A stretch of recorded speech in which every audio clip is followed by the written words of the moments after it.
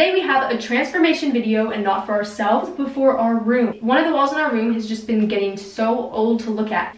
Like we cut out a bunch of beach pictures and we just put them on the wall for who knows how long. Yeah, so now we basically just printed out a bunch of Tumblr pictures and put up some lights, which will be in the description because they're pretty cool lights if you guys want them. Um, and it took us about a month, so we're just so...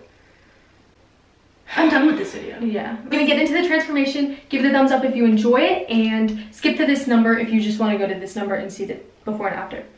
Whatever. Yeah.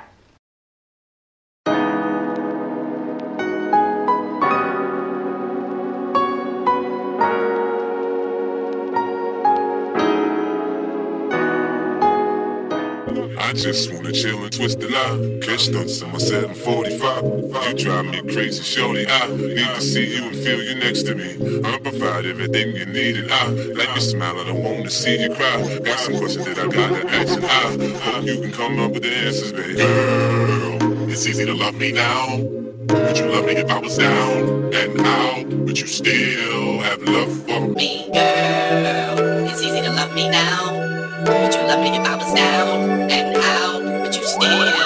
Love for me. If I cut off tomorrow, would you still love me? If I didn't smell so good, would you still hug me? If I got locked up and set this till quarter century, could I count on you to be there to support me mentally? If I went back till hoopty from my Benz, would you poof and disappear? Like some of my friends, if I was hit and I was hurt, would you be by my side? If it was time to put in work, would you be down to ride? Down, kill a nigga, kept chillin' drive. I'm asking questions to find out how you feel inside.